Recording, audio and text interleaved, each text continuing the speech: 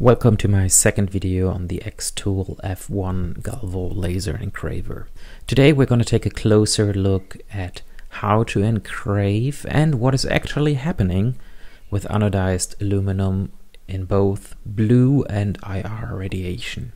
For this I marked a couple of test fields, just the letter T with different power settings but also different speed settings both in blue and IR light. Here you can see the result.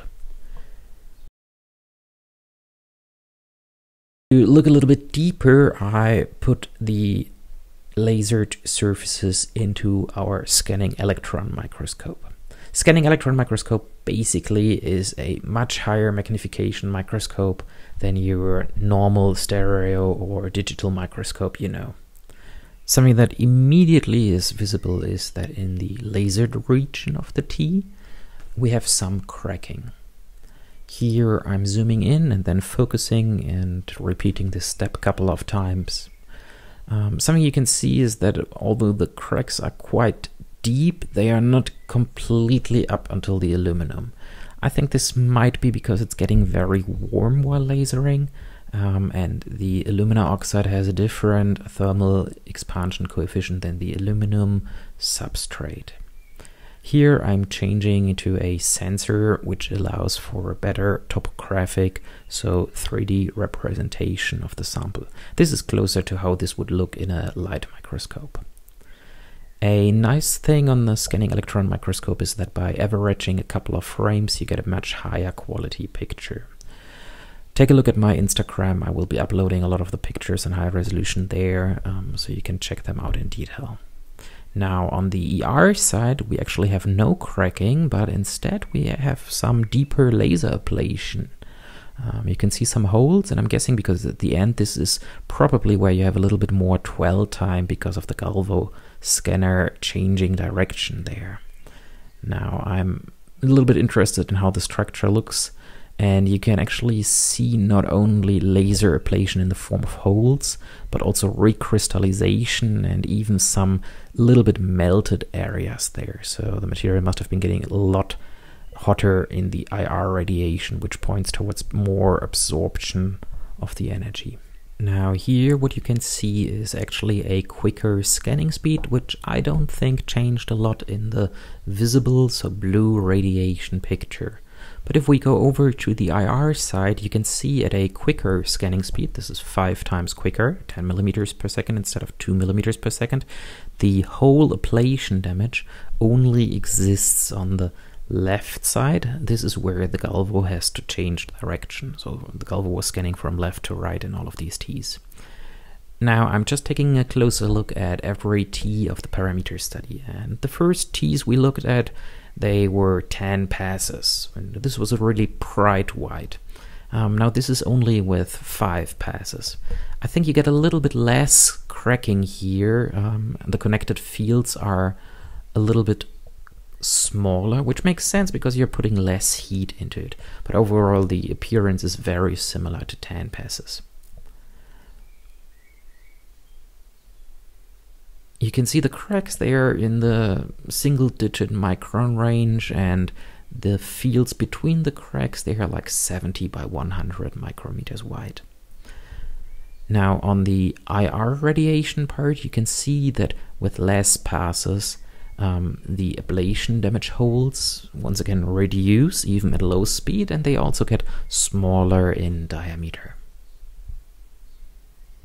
They're about 35 micrometers in diameter, and you can see our T is actually right on spot in size. Next we are taking a look at the scored, so not engraved, but scored settings. You can see that the laser left a much deeper impression here, and between the two lines of tracking this letter M, there's a little ridge left over. But overall, I would say this looks really good, so scoring actually uh, leaves fantastic quality here. I was wondering about the mechanism of removing the color because I mean it's not ablating enough material um, to really make a white color appear. For this I did EDS analysis and I did first a line scan.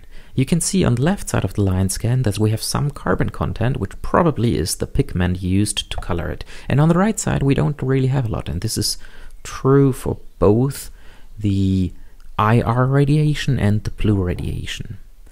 Doing a small area scan to reduce the amount of noise, we can see that the carbon content is nearly 10% with a lot higher sulfuric content on the non-lasered part, whereas in the lasered part we have nearly no carbon and a much reduced sulfur content. I think this points very much toward um, the pigment disappearing first, but also you're removing the uppermost layer of the alumina oxide. In order to get some more information about the surface topography, I did some confocal microscopy on our sample. With confocal microscopy, you get a very good resolution in the z direction, which enables you to see even minuscule differences in height. And after loading the model and changing a little bit of the 3D display, mainly the amplification of the z-axis, you can actually see that the laser removed some material. To me this was quite surprising, because if you scratch the surface with your fingernail, you're not feeling any height difference at all. It feels completely smooth. Um, but we can see here that it actually removed something. Now one question here, which I would ask myself is, is the surface roughness different between the ablated area and the non-ablated area. Now, the test signs I did, they are kind of not really large enough to allow for a proper line surface roughness measurement.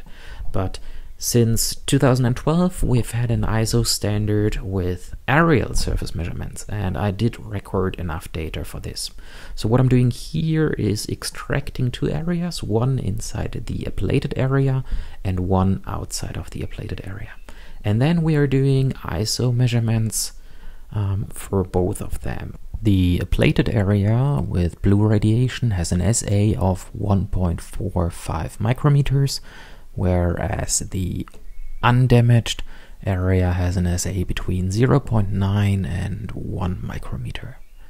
Now here you can see the IR radiation surface and we can see that because of the much deeper pitting our SA is also a lot rougher. We have an SA of 3.2 micrometers.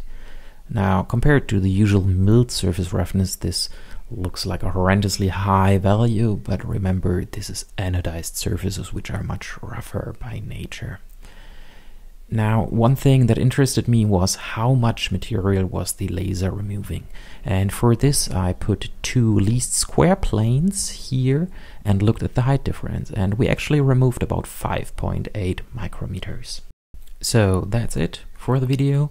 Um, to sum up, color change through particle removal of the pigment and it is actually, which is to me quite surprising, removing some of the alumina oxide through ablation.